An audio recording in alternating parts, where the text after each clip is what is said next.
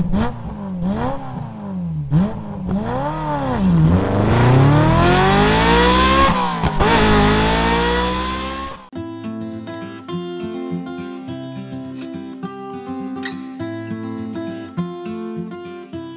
guys, welcome to my channel. Well, we went for a short ride in Vatsa itself. It was raining but uh, not that heavy. After we reached home, it started raining like cats and dogs.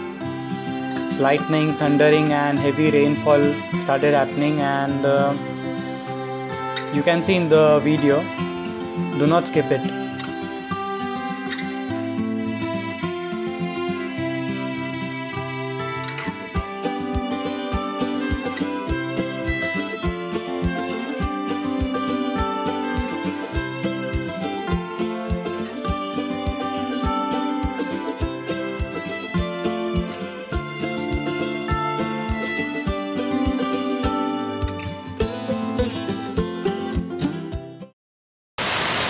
नमस्कार मैं हूँ उल्लास कोटियन और आज हम सबसे पहले बात करेंगे मॉनसून की। सो so, यहाँ आप देख सकते हैं बिजली कड़क रही है और बादल गरज रहे हैं। तो कैसे हैं आप लोग?